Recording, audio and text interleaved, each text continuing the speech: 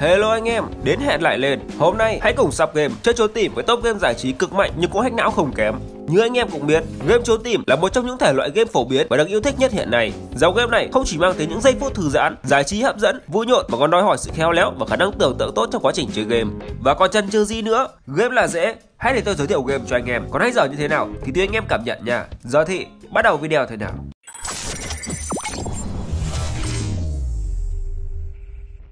Đầu tiên là cái tên quen thuộc Among Us. Dù không phải là game mới, nhưng chắc chắn nhớ anh em cũng đã từng chơi qua.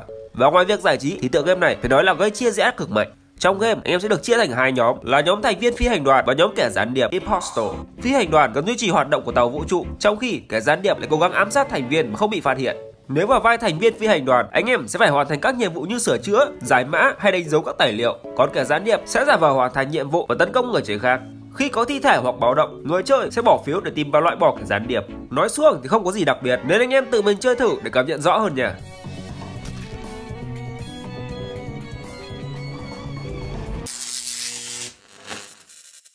Tiếp theo là cái tên Midnight Ghost Hunt. Chính xác thì đây là tựa game hành động kinh dị săn mà. Nhưng đã nói đến đi săn thì chắc chắn phải có yếu tố trốn tìm rồi. Tựa game này được đánh giá là tương tự với Poppy Playtime hay Probe and Seek anh em sẽ được chia thành hai phe, một phe chạy trốn, tàng hình và ẩn náu trong bản đồ, còn phe còn lại sẽ đi săn. Cụ thể, phe chạy trốn là những bóng ma có thể ẩn náu với các đồ vật và tấn công khiến cho phe thợ săn bị sát thương. Trái lại, phe thợ săn được trang bị vũ khí và công cụ để phát hiện và tiêu diệt các bóng ma trước khi chúng tiếp cận. Midnight Ghost Hunt là một trò chơi rất thích hợp để có thể chơi cùng với bạn bè khi tụ họp và chắc chắn anh em sẽ có những giây phút săn đuổi thò tìm nhưng cũng không kém phần thú vị và vui vẻ. SCP Secret Laboratory là một trò chơi với câu chuyện xoay quanh một cuộc thí nghiệm thất bại dẫn đến sự xuất hiện của quái vật tàn bạo tấn công và giết người. Anh em và những người chơi khác đang bị mắc kẹt ở trong khu vực nguy hiểm này. Nhiệm vụ của mọi người là sống sót, trốn thoát khỏi sự tấn công của quái vật và tìm người sống sót còn lại để hoàn thành một liên minh chống lại chúng.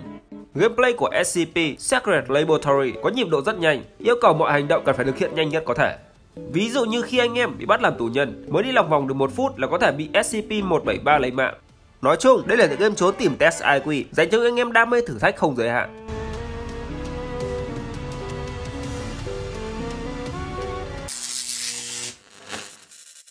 Tiếp tục là tựa game Hello Neighbor. Hello Neighbor là một trò chơi trốn tìm xen lẫn yếu tố kinh dị. Tại đây, anh em sẽ nhập vai thành một cậu bé tò mò, muốn khám phá bí mật của hàng xóm kỳ lạ. Tuy nhiên, hàng xóm ấy là giữ một bí mật kinh hoàng và sẵn sàng ngăn chặn mọi cách. Anh em phải tránh tiếp xúc với hàng xóm và tìm cách tiếp cận khu vực bị khóa, khám phá sự thật đáng sợ. Nếu là fans của thể loại game kinh dị khám phá thì đây là cái tên rất đáng để chơi thử.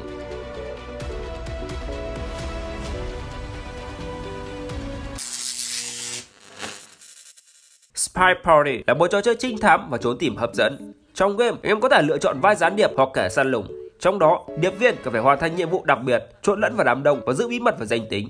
Còn kẻ săn lùng phải tìm ra, bắt giữ điệp viên trước khi hoàn thành nhiệm vụ.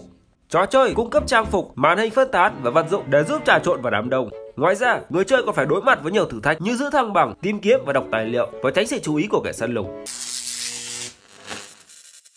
Friday the 13th The Game hay còn được biết đến với cái tên thứ sáu ngày 13 là một trò chơi dựa trên bộ phim kinh dị cùng tên cho phép người chơi đóng vai trò của một nhân vật trong bộ phim hoặc Jason Voorhees kẻ săn mồi. Trong game, anh em sẽ được chia thành hai nhóm là nạn nhân cố gắng trốn thoát khỏi Jason Voorhees và Jason Voorhees cố gắng bắt giữ và giết chết nạn nhân. Nhóm nạn nhân tìm kiếm các món đồ cần thiết như chìa khóa, vũ khí hoặc xe để trốn thoát. Trong khi đó, Jason Voorhees sử dụng kỹ năng đặc biệt để săn đuổi và giết chết nạn nhân. Trò chơi tạo ra một không khí căng thẳng và kịch tính, đem lại trải nghiệm chân thật, thú vị. Witch Is là một trò chơi thú vị. Anh em sẽ được chia thành hai nhóm là phù thủy và người săn phù thủy. Tùy vào sở thích của anh em, có thể đóng vai nào cũng được. Nhiệm vụ của phù thủy là phải biến hình thành các vật dụng xung quanh để trốn thoát khỏi sự truy lùng của người săn phù thủy, trong khi người săn phù thủy phải tìm cách để bắt giữ phù thủy. Game có đồ họa đẹp mắt và âm thanh sống động, tạo nên một thế giới phù thủy đầy màu sắc. Ngoài ra, game này còn hỗ trợ chơi online nên chắc chắn gameplay sẽ rất hấp dẫn. Hunt Showdown là một tựa game kinh dị kết hợp PvP và FPS, đưa người chơi vào thế giới viễn tưởng đầy quái vật đột biến và sức mạnh khó lường. Anh em sẽ hình thành một đội thợ săn tiền thưởng gồm hai người chơi khác nhau cùng chiến đấu để tiêu diệt quái vật. Tính năng theo dõi địch ở trong game cho phép tận dụng để gây rối và đánh bại đối thủ. Hunt Showdown mang lại trải nghiệm hồi hộp và chiến đấu căng thẳng trong một thế giới đầy nguy hiểm. Anh em đã thử chưa? Dead by Daylight là một trò chơi trốn tìm siêu hấp dẫn. Trong game, em sẽ được chia thành hai nhóm là kẻ săn mồi Killer và nạn nhân Survivors. nhóm nạn nhân phải hoàn thành nhiệm vụ để kích hoạt cổng an toàn trốn thoát khỏi kẻ săn mồi. Trong khi đó, kẻ săn mồi phải bắt giữ và giết chết các nạn nhân trước khi họ có thể trốn thoát. Trò chơi tạo ra một không khí căng thẳng và hồi hộp khi cả hai nhóm tìm cách chiến đấu cho mục tiêu riêng của mình. Anh em có liên tưởng đến ông bán kem ma quái không? Mặc dù hai game không có nhiều liên quan, nhưng câu chuyện thì lại khá giống nhau. Và nếu anh em yêu thích cái cảm giác hồi hộp kịch tính thì nên chơi thử từ game này nha. Rust là một tựa game được xây dựng trong một thế giới rộng lớn, nhưng đặc biệt là những server không có cảnh đấu đá hay chém giết lẫn nhau. Thằng chó Mày lừa bố mày Thay vào đó, Rust mang đến những cuộc trốn tìm đầy căng thẳng và hấp dẫn. Điểm đặc biệt của chế độ này chính là bản đồ siêu rộng khiến cho việc tìm kiếm trở nên khó khăn. Anh em sẽ phải đối mặt với thử thách và khám phá trong một thế giới hoang dã đầy nguy hiểm. Tiếp tục là tựa game Thief Simulator. Đây là một trò chơi mô phỏng độc đáo về việc ăn cắp và trốn tìm. Anh em sẽ nhập vai một tên trộm chuyên nghiệp, thực hiện các nhiệm vụ trộm cắp và tìm cách đánh cắp các mục tiêu một cách tinh vi. Tuy nhiên, anh em cũng cần chú ý đến các yếu tố như vị trí cảnh sát, camera giám sát, hệ thống báo động và người bảo vệ. Thief Simulator mang đến trải nghiệm căng thẳng và kịch tính. Anh em chơi thử nha.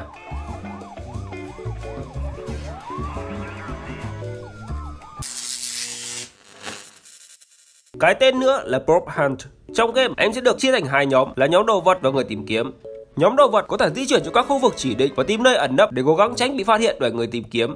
Ngược lại, người tìm kiếm phải tìm và tấn công các đồ vật để giành chiến thắng. Khi phát hiện ra một đồ vật, họ sẽ bắn hoặc tấn công các đồ vật để xác định chúng là đồ vật thật hay là người chơi. Gameplay của tựa game này khá là độc lạ và tất nhiên là không có nhàm chán. Anh em đang tìm kiếm một tựa game giải trí thì đây là cái tên rất đáng để cân nhắc đấy. Tiếp theo là tựa game Neighbors from Hell, được đánh giá là một trò chơi thú vị. Trong game, anh em sẽ phải thực hiện các hành động như ẩn nấp, leo lên đồ vật, lừa dối và gây rối hàng xóm. Mỗi màn chơi được thiết kế sáng tạo và độc đáo, cho phép anh em thỏa sức khám phá trong từng căn phòng của hàng xóm để tìm kiếm vật phẩm hỗ trợ. Game sở hữu đồ họa và âm thanh vui nhộn, hài hước, tạo nên một thế giới game sôi động và đầy màu sắc. Live Bearers là một tựa game online nhiều người chơi. Game được đánh giá là thú vị với hai phe là người mang ánh sáng và kẻ săn lùng. Nếu vào vai người mang ánh sáng, anh em sẽ phải tìm cách tránh sự săn lùng của kẻ địch và đi đến một điểm cuối ở trên bản đồ. Trong khi kẻ săn lùng phải cố gắng tìm và loại bỏ tất cả người chơi mang theo ánh sáng. Tiếp nữa là tựa game Hide and Seek. Vào game, em sẽ được chia thành hai nhóm là nhóm tìm kiếm và nhóm trốn. Người tìm kiếm sẽ đếm từ 1 đến 10, trong khi nhóm trốn tìm cách lẩn trốn vào những chỗ kín đáo hoặc leo lên địa hình cao để tránh bị phát hiện. Người trốn sẽ giành chiến thắng nếu không bị tìm thấy hoặc thời gian của trò chơi kết thúc mà người tìm kiếm không tìm thấy tất cả người chơi trốn. Nghe mô tả thì giống hệt trò chơi trốn tìm ngày bé hay chơi. Thế nhưng trong game có khá nhiều yếu tố thú vị, anh em cùng xem qua một đoạn gameplay để cảm nhận nha.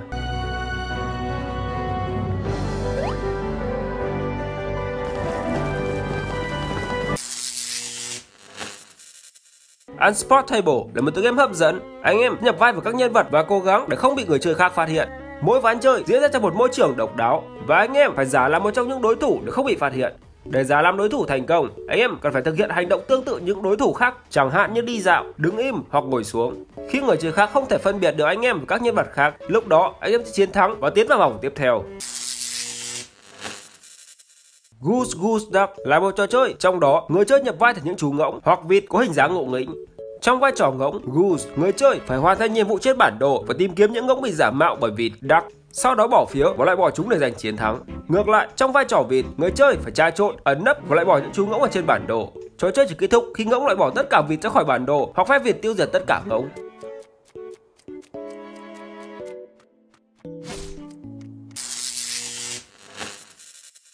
Game Probe and Seek là một trò chơi trốn tìm cực hấp dẫn với tối đa 32 người chơi. Mọi người có thể trốn tìm hoặc làm thợ săn. Trò chơi cung cấp nhiều chỗ ẩn nấp để người chơi dùng làm nơi trốn và ngược lại, thợ săn phải tìm ra tất cả những nơi ẩn nấp đó.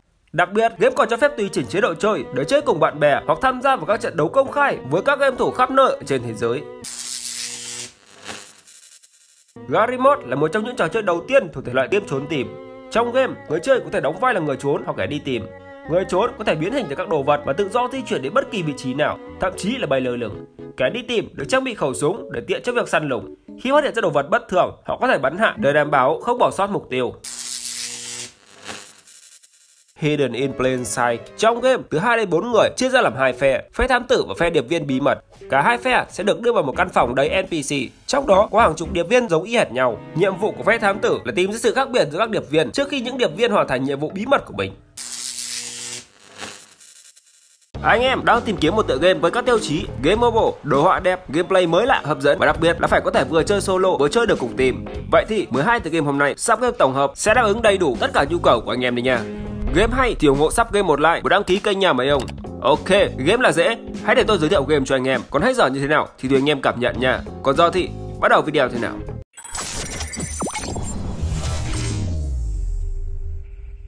Mở đầu là tựa game được coi là phiên bản mini của Overwatch T3 Arena.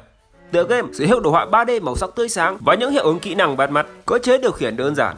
Game có rất nhiều chế độ chơi, mỗi trận đấu sẽ chỉ có 3 phút nên nhịp đấu sẽ rất nhanh. Đặc biệt có tới 14 nhân vật là 14 anh hùng cho anh em thoải mái lựa chọn. Và ngoài chơi solo ở các chế độ free for all thì tất cả các chế độ chơi khác đều chơi theo nhóm 3 vs 3 nên game sẽ rất phù hợp với những anh em chơi nhóm 3 người đấy. Tiếp theo là một siêu phẩm bóng đá miễn phí của Konami với cái tên eFootball 2024 Mobile. Nói về tựa game này thì phải khẳng định đây là tựa game bóng đá nhất nhì thế giới với khả năng kiểm soát thực tế cao. Công nghệ tiên tiến được mang vào trọn vẹn ở trong eFootball 2024.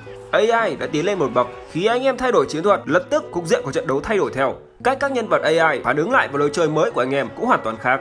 Một điểm đặc biệt ở trong eFootball 2024, anh em không chỉ tham gia vào các trận đấu bóng đá mà còn có thể trở thành một nhà quản lý tài năng chịu trách nhiệm tất cả các vấn đề chuyên môn cho tới những đề tài ngoài sân cỏ như kinh tế, xây dựng, chuyển nhượng, truyền thông, vân vân.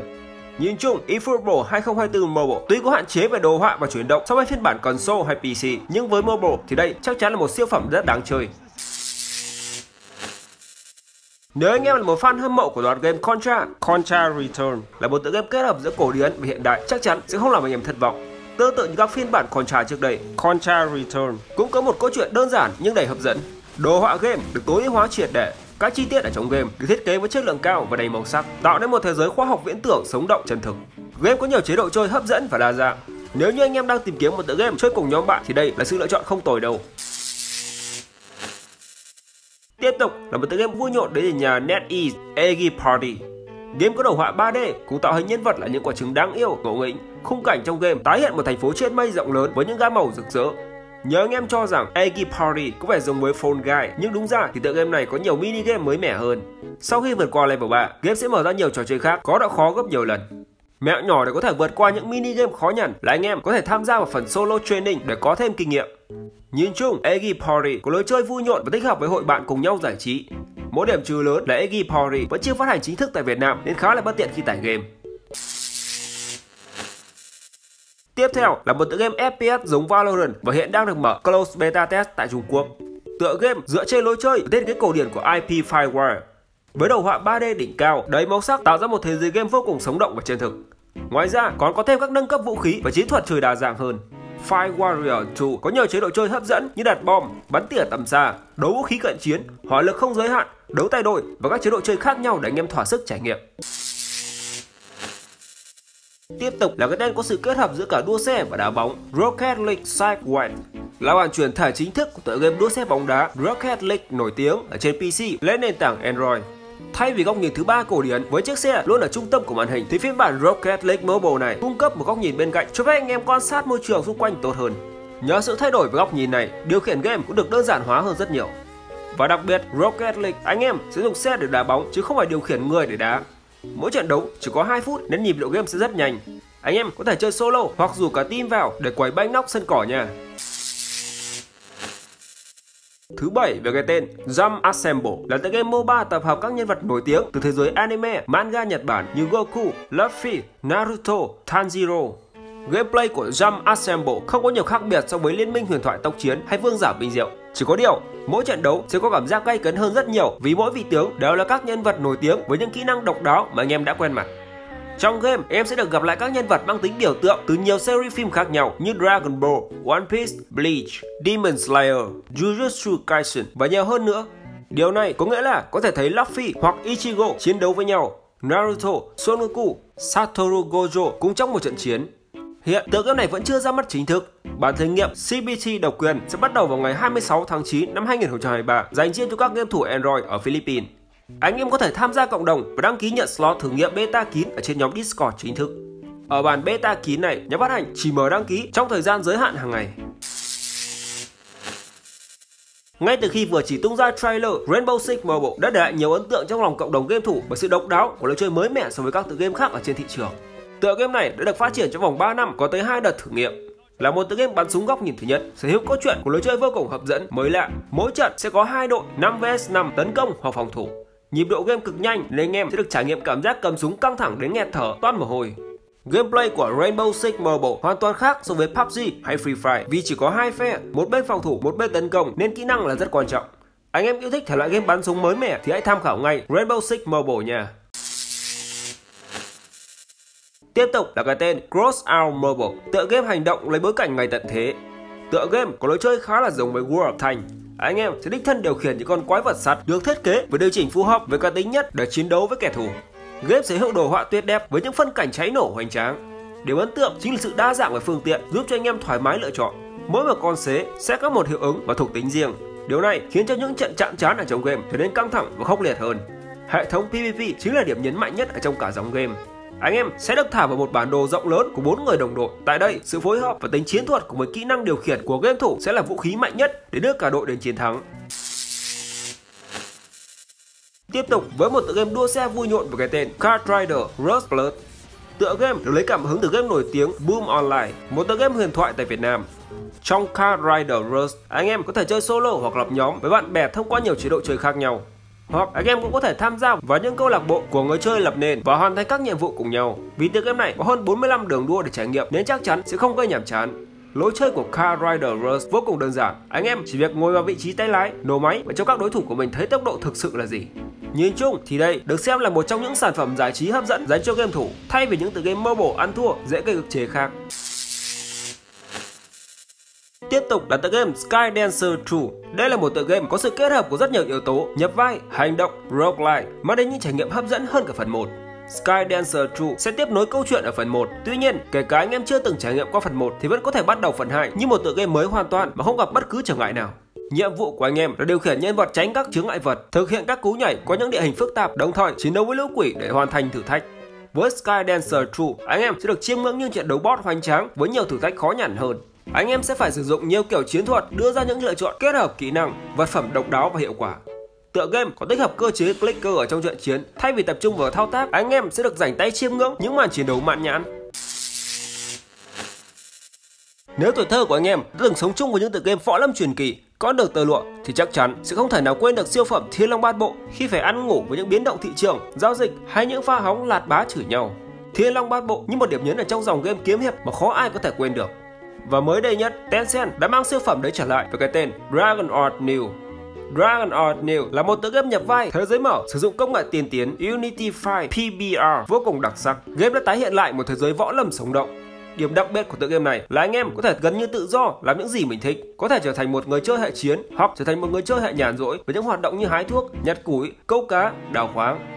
Và quan trọng nhất, game đã vô cùng đầu tư tính năng kết hôn để người chơi có một trải nghiệm tốt nhất ở trong thế giới dành riêng cho hai người. Hiện game chỉ mới ra mắt ở bên Trung Quốc. Ok, và vừa rồi là 20 tựa game trốn tìm đã được đánh giá cao. Anh em đã chơi có bao nhiêu game rồi? Comment chia sẻ cuộc sắp game nha. Video hôm nay đến đây thôi. Hẹn gặp lại anh em ở những video tiếp theo. Chúc anh em chơi game vui vẻ.